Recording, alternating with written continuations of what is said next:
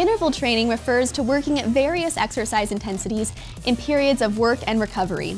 With MyZone's five color-coded intensity zones and the live display, it has never been easier to identify the work and recovery periods for your clients. MyZone provides you with the option to coach by color rather than or in addition to time. For instance, you can coach your client to perform a specific exercise until they hit the yellow or red zone, then immediately recover to the blue or green zone, and then repeat. This method allows you to focus on recovery with your clients to make sure that their heart is recovering between work phases, irrespective of their fitness, so that they're ready to go for it on that next push. When looking at an interval training graph in your MyZone workout summary, you should see peaks of yellow and red and valleys of blue and green, similar to a roller coaster.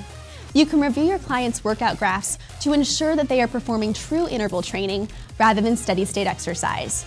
MyZone helps everybody in the room to feel good that they are achieving the class that has been set out before them.